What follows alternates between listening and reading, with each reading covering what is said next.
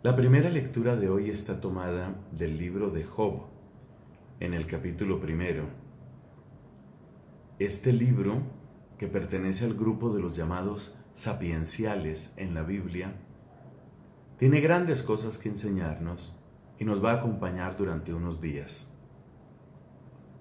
La frase que más impacta de la lectura de hoy es aquella exclamación tan llena de paciencia en Job y que es la razón por la que él es considerado como un gran ejemplo de paciencia.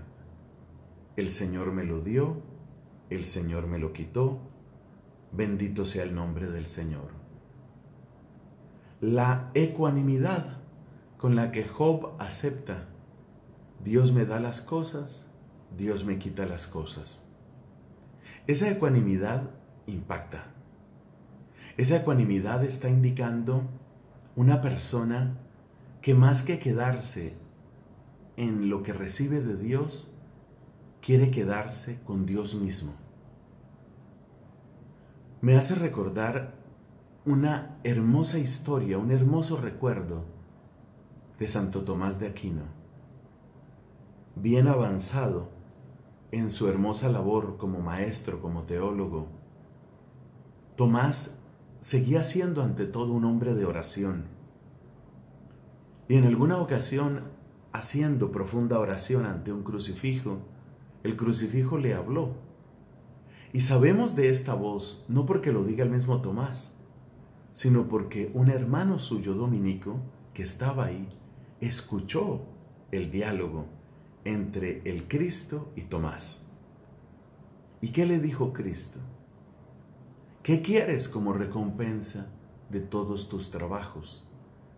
Se refería a Cristo, a la manera tan generosa, tan dedicada y perseverante de Tomás, que no ahorraba esfuerzos, tratando de exponer con la máxima claridad, con la máxima perfección, la doctrina de la fe. Y la respuesta de Tomás es asombrosa y es un verdadero ejemplo. Non nisi te domine. Nada quiero, solamente a ti.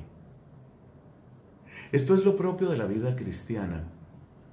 La vida cristiana no se define por las recompensas que uno pueda recibir, como si uno fuera un asalariado, como si uno fuera fuera un mercenario. No es lo que yo pueda recibir de Dios, es al Dios al que yo recibo.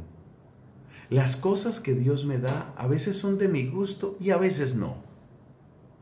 Las personas que Dios me acerca a veces me caen muy bien y a veces no. Pero, pero, Él, Él es mi alimento, Él es mi meta, Él es mi recompensa. Nada quiero, sino que te quiero a ti, Señor. Y el que busca como pago esa dulce amistad y esa perfecta unión con Dios jamás quedará defraudado. Porque en el momento de la abundancia agradece a Dios y en el momento de la escasez espera en Dios. En el momento de la salud bendice a Dios. En el momento de la enfermedad se une a la pasión de Cristo, Hijo de Dios. Es decir, nada lo puede separar del Señor. San Pablo dice, ¿quién nos separará del amor de Cristo? Porque el amor de Cristo ha sido incondicional. Es evidente que la respuesta propia a un amor incondicional es otro amor incondicional. El amor incondicional de Dios es, me amó a pesar de mi pecado. El amor incondicional mío es, yo amo al Señor en lo que me gusta y en lo que no me gusta, yo alabo a Dios en lo que me agrada y en lo que no me agrada. Yo espero en Dios cuando todo fluye muy bien o cuando las cosas salen mal. Por eso es muy peligroso idolatrar la felicidad. Es muy peligroso tomar el camino de, mientras yo me sienta bien, mientras esto me haga feliz, yo por lo menos busqué ser feliz. Ese es un camino muy peligroso. Porque la persona que está buscando solamente su felicidad, se entiende felicidad en esta tierra, La persona que se concentra en su felicidad en esta tierra es como si le estuviera diciendo a Dios, te serviré mientras las cosas vayan a mi favor. Voy a estar contigo mientras me guste. Eso no es amor.